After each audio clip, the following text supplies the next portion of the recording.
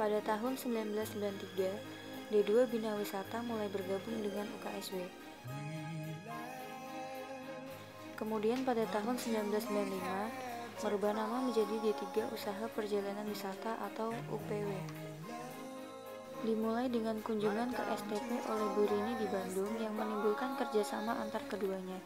Kemudian beberapa dosen diberi pelatihan langsung oleh Profesor Ettore Amato atau seorang konsultan UNESCO dari Italia yang dikontrak oleh Sanata Dharma di STP Bandung.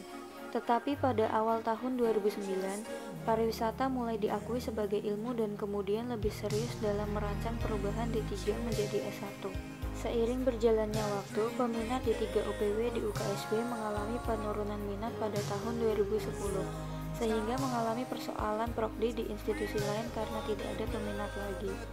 Dan pada tahun 2013, D3 UPW mengalami kegagalan dalam upaya pengajuan proposal S1 dengan alasan pariwisata merupakan ilmu terapan dan bukan ilmu murni.